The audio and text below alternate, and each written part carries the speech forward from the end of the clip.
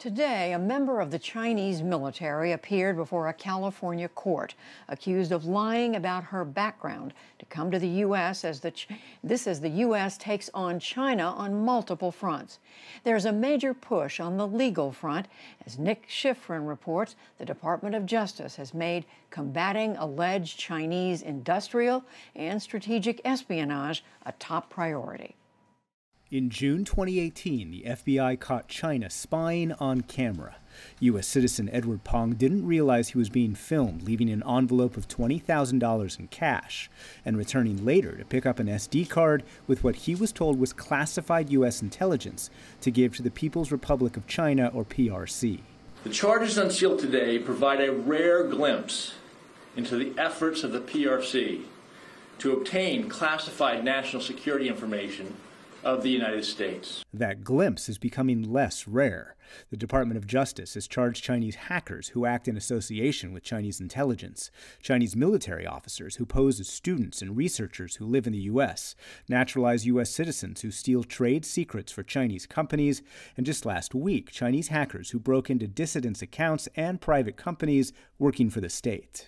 These intrusions are yet another example of China's brazen willingness to engage in theft through computer intrusions contrary to their international commitments. That's Assistant Attorney General John Demers, who leads the Department of Justice's National Security Division. In the last 10 days, the division has made nine case announcements connected to Chinese behavior, including Juan Tang, who temporarily hid out inside China's San Francisco consulate. In total, the Department of Justice says 80% of all economic espionage cases and 60% of all trade secret cases are tied to China. We've now reached the point where the FBI is opening a new China related counterintelligence case about every 10 hours. The Department of Justice's actions are part of a larger effort by the Trump administration to identify and punish Chinese behavior. And I am now joined by Assistant Attorney General John Demers, who, as you just saw, leads the Department of Justice's National Security Division. John Demers, welcome to the News Hour. Let's begin with the highest profile action by the U.S. against China uh, inside the United States. That is the closure last week of the Houston consulate. What made Houston the hub for more aggressive, more successful Chinese espionage than other Chinese actions? Well, as you indicate, Nick, we didn't choose uh, Houston uh, at random among the Chinese consulates. It was at the forefront both of uh, intellectual property theft, of participation in, in programs like the Thousand Talents program that the Chinese have to help uh, take U.S. intellectual property, and also of uh, covert foreign influence activities. And so, uh, you know, once the decision was made to close a consulate here in the U.S., Houston was, in many ways, the obvious choice. The overall question, I think, uh, is you know the U.S. has been accusing the Chinese government of espionage for years. Is the increased tempo that it seems to be in, in indictments uh, a sign that the threat has increased, or is it that the U.S. ability to find espionage and willingness to call it out increase? Well, I think the theft has been steadily increasing. So we've seen Chinese espionage, both traditional espionage, as you talked about in the Peng case in the opening, or on the intellectual property side in these cyber cases for many, many years. Uh, and over the years, the department has charged uh, some of those cases. But the activity has uh, increased over time, particularly with the Made in China 2025 plan uh, that when that was announced back in 2015. The scope, I think the persistence of this activity, the increased use of uh, non-traditional collectors like um, folks who are at companies uh, and aren't necessarily intelligence officers or member of the of the military to take intellectual property, the sophistication of the plans, their ability uh, to do cyber uh, intrusions has also increased over time. So we've seen, I think, a steady increase on the part of the Chinese to take intellectual property in order to develop uh, their economy, to, de to develop their businesses. Uh, in addition, I think, uh, you know, we have launched uh, the China Initiative here at the department, which was really meant about two years ago to make sure that across the country, the U.S. Attorney's offices and here at Main Justice, we were focused on the threat that uh, we were seeing every day in the intelligence briefings that we were getting uh, about this threat of, of uh, intellectual property theft from China. let's zoom in on, on something that you mentioned before, the, what the Chinese call the Thousand Talents program. Uh, the U.S. describes right. it as a campaign to recruit academics, recruit scientists, to steal sensitive technology. Did the intelligence community actually really get that program, really only understand that program in the last few years?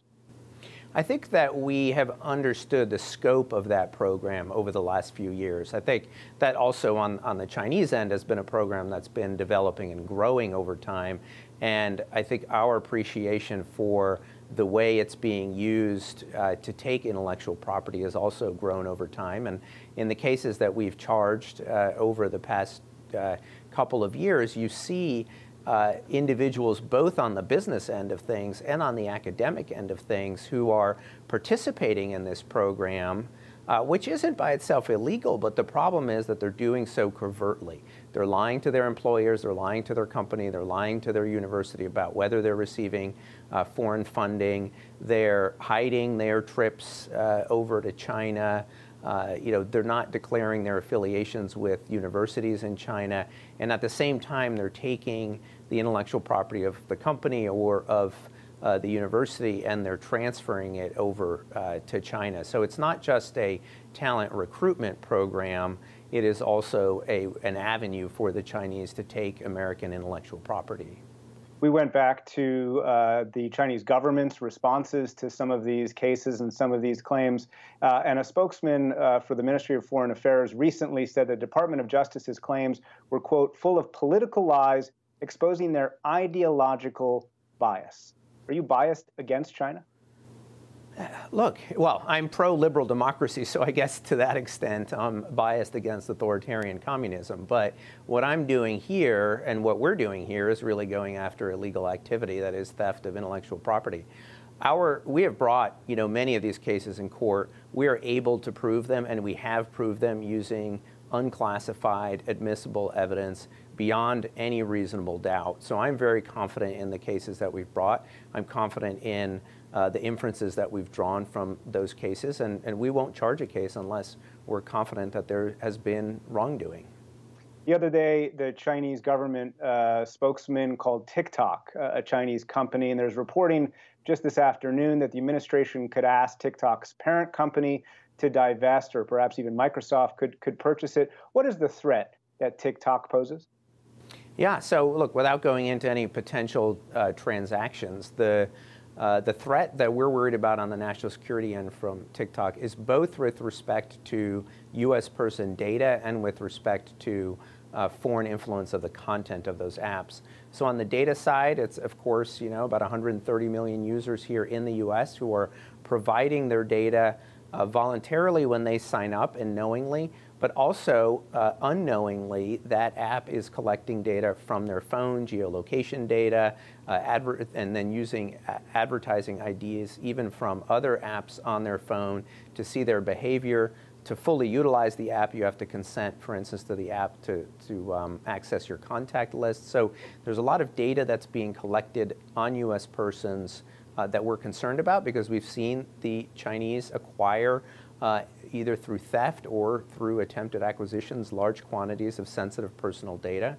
And then on the content side and on the foreign influence side, I think you're aware of the many reports, uh, including from uh, whistleblowers within the company, of the company uh, moderating uh, some of the content on the app to exclude uh, versions of uh, Chinese behavior that uh, the Chinese government doesn't like, whether it's about Hong Kong or the Uyghurs or Taiwan or Tibet or any of the other sensitive uh, issues uh, in China. So that's really our uh, national security concern with TikTok. And I think, as um, the president himself said today, we continue to look at ways in which to um, you know, mitigate those concerns.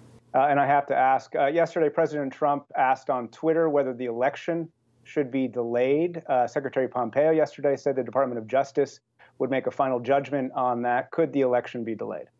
Well, uh, the election is set uh, by statute. Uh, I think you saw the responses from the Hill yesterday about the idea of, of changing that date. So um, you know, I don't know anything more than that. That's really outside my area of uh, responsibility. John Demers, Assistant Attorney General, thank you very much. Thanks a lot, Nick.